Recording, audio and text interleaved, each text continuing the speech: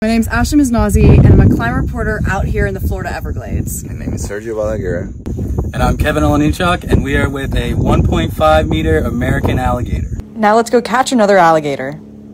Gators' eyes glow red like a warning light in the dark, which gives away where they're hiding in the lily pads.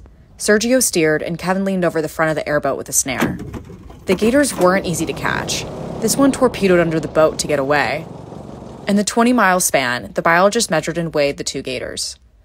Researchers catch and study gators because they're sensitive to environmental changes in the Everglades, which makes them a good indicator species for testing the hydrology for the multi billion dollar Everglades Restoration Project. Alligators are a little like Goldilocks. They need the water just right. Too much and they use too much energy catching fish, and not enough and they can't move around to mate. We, we want to get the water right in the Everglades.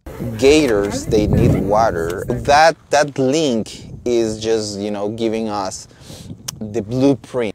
The ancient reptiles can also tell a story about climate change. Sea rise, water storms, and higher temperatures could change their nesting patterns and push their range further north.